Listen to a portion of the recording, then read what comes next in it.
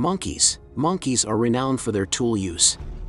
They are known to use rocks as hammers to crack open hard-shelled fruits and nuts. They also use sticks to dig for food and water, and stones to scrape surfaces. Monkeys. In Thailand, long-tailed monkeys have been observed using stone tools to crack open shellfish, crabs, and nuts. They select appropriate stones, place the food on an anvil-like rock, and then hit it with their chosen hammer.